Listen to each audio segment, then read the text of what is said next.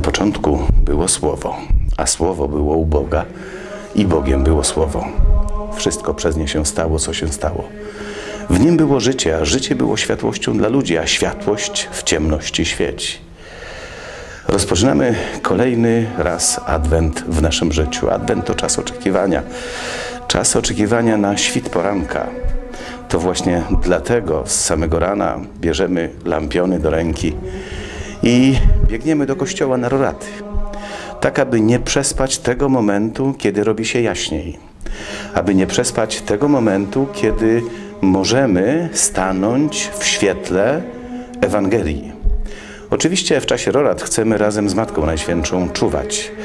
Czuwać, żeby nie przegapić momentu, kiedy Słowo staje się ciałem, kiedy Bóg wkracza w historię człowieka, kiedy Bóg wkracza w historię moją. Ale to przybliżanie się do światła, to biegnięcie z lampionem do kościoła, to stanięcie w świetle może być trochę niebezpieczne.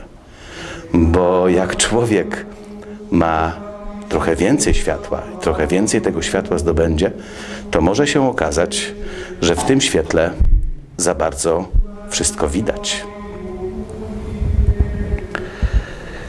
Wtedy okazuje się, że ja jestem w ubraniu, w kapeluszu, a stoję u siebie w pokoju. Wcale nie idę na roraty, tylko jestem w mieszkaniu. Światło wydobywa wszystkie najdrobniejsze, najzwyklejsze sprawy z naszego życia. Zapraszamy na kolejny adwent w naszym życiu. Zapraszamy na kolejne roraty. Bogu dziękować. Bóg dał nam przeżyć ten kolejny adwent. Nie przegapmy go, nie prześpijmy go.